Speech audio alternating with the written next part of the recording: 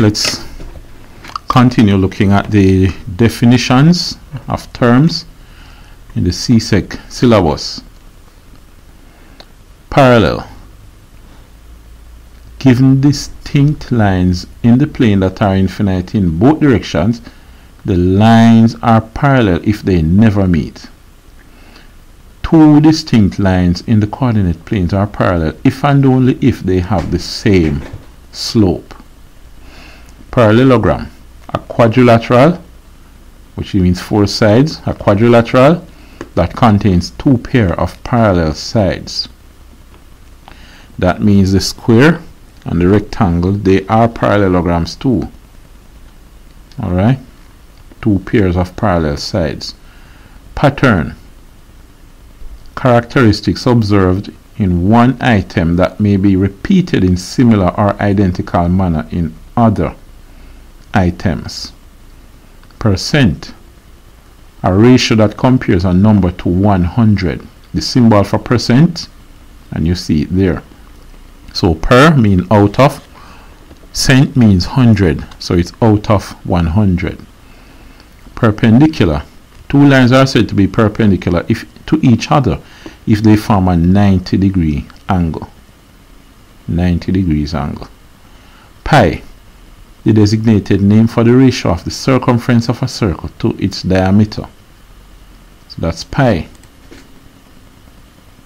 You know that to two decimal places it is 3.14. Pie chart. A chart made by plotting the numeric values of a set of quantities as a set of adjacent circular wedges where the arc lengths are proportional to the total amount. All wedges taken together comprise an entire disk.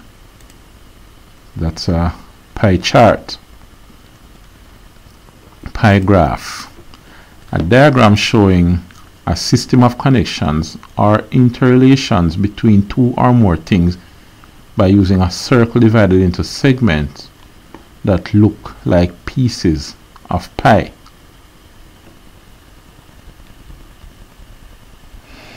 Right, polygon, a closed figure formed by three or more line segments. That's polygon. It, when it has three sides, you say it's a triangle. When it has four sides, a quadrilateral. When it has five sides, a pentagon, and so on. It, and it must be closed. Polyhedra, poly, polyhedra. Any solid figure with an outer surface composed of polygon faces okay. Just like the prism or the pyramid. Polynomial. An algebraic expression involving a sum of algebraic terms with non-negative integer powers. For example 2x cubed plus 3x squared minus x plus 6 is a polynomial in one variable that means if you had a 2x cubed plus 3x to the negative 2 it would not be a polynomial if you have a 2x to the negative 3 that would be not be a polynomial because here it says non-negative integer powers. Population. In statistics population is a set of all items under consideration. Okay? So like when they study the population using a census. They tried to get in touch with everybody. That's a population. When you contact only some of the persons in the population, that is a sample. Prime, a numerical, a natural number p greater than 1 is prime if and only if the only positive integer factors of p are 1 and p. So it has factors of only 1 and itself. Only 1 and itself can divide into it without leaving a remainder. The first 7 prime numbers are 2, 3, 5, 11, 13, 17. 2 is the only prime number that is also an even number. Probability. The measure of how likely it is for an event to occur. The probability of an event is always a number between 0 and 1. Proportion a relationship between two ratios in which the first ratio is always equal to the second, usually in the form A over B is equal to C over D. 2. The fraction of a part of, of a part and the whole for two parts of a whole are in the ratio. If two parts of a whole are in the ratio 2 to 7, then the corresponding proportions are 2 to 9 and 7 to 9 respectively.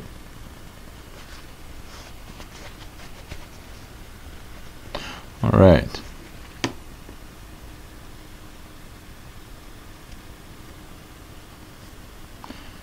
Protractor, an instrument used for drawing and measuring angles. Pythagorean theorem.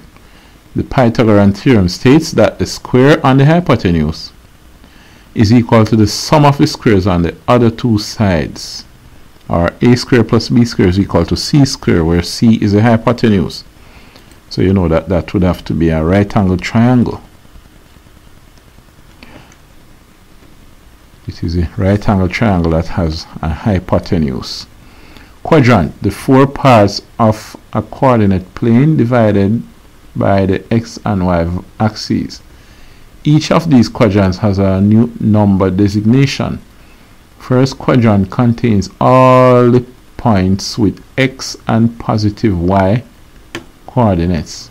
Second quadrant, all the positive, all the points with positive x and positive y.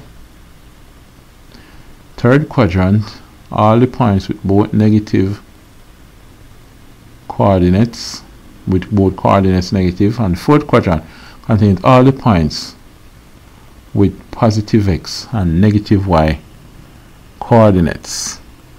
Alright, you can look at a figure with all four quadrants in it quadratic function, a function given by a polynomial degree of 2. That means it has something like x squared, no x cubed because that would be a cubic equation. It should have x squared and x. It might have x and numbers in it. Quadrilateral, a polygon that has four sides. So quad means four. Quartiles, Consider a set of numbers arranged in ascending or descending order. The quartiles are the first three numbers which divide the set into four parts of equal amount of numbers. The first quartile in a list of numbers is the number such that such that a quarter of the number is below it. The second quartile is the median. The third quartile is the number such that three quarters of the numbers are below it. So the first quartile in a list is set numbers so that a quarter of the numbers is below it. Okay, so you're looking at a quarter of the number below it. For example, 26 percent that's the first quartile or up to 25 up to 25 0 to 25 would be below the 25 point whatever it is and above. 20, above 25 would be the first quartile. The second quartile is the median which would be 50 percent. The third quartile is a number such that three quarters of the numbers are below it. So the third quartile, you're looking at above 75%. Alright, quotient, the result of division. Just like how the result of adding you sum, the result of division is a quotient. Or the answer when you divide is a quotient. Radical, the radical symbol, such as the square root sign, is used to indicate the taking of a root of a number the q root of x mean the qth root of x if x is 2 if q is equal to 2 then it is usually written as just the radical over x. For example, the fifth root of two for the 243 is 3, the fourth root of 16 is 2. The radical always me means to take the positive value. For example, if both 5 and negative 5 satisfy the equation, then x squared is equal to 25. But the square root of 25 is equal to 5, a positive value. Range. The range of a set of numbers is the difference between the largest value in the set and the smallest value in the set. Note that the range is a single number, not many numbers. Alright? So the difference between the largest and smallest, you have the largest minus the smallest, and what you get is the range. Range of a function, f. The set of numbers f of x for which x for x in the domain of f. So it's actually the answers. You put in the domain, those numbers, you put in the function. When you pass them through the function, you get the answer. The answers would be the range. The set of answers would be the range. So for each number you put in, which is the domain, you get an answer for each of them. So that set of number you get out is the range ratio. A comparison expressed as a fraction, for example, the ratio of three boys to two girls in a class is 2 to 3, or written this way, 3 colon, uh, 3 boys to 2 girls, 3 to 2, 3 over 2, or 3 colon 2. Rational numbers. Numbers that can be expressed as the quotient of two integers, for example, 7 over 3, 5, 7 third, 5 11th, negative 5 13, 7, which is the same as 7 over 1. Alright, so those are rational numbers. You can write them as a whole number over another whole number. Ray, a straight line that begins at a point and continues outwards in one direction. Real number, the union of the set of rational numbers and the set of irrational numbers which means all numbers except those imaginary numbers. They are both rational and irrational numbers. Reciprocal. The reciprocal of a number is equal, a is equal to 1 over a, where a is not equal to 0. Reg regular polygon, a polygon whose side lengths are all the same and whose interior angle measures are all the same.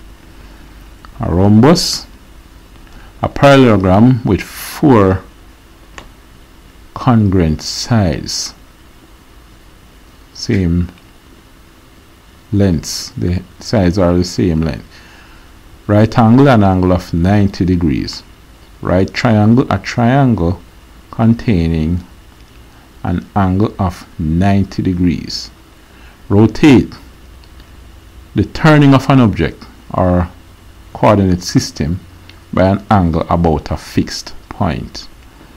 Alright, we'll break from here and we continue next time by looking at roots. Root.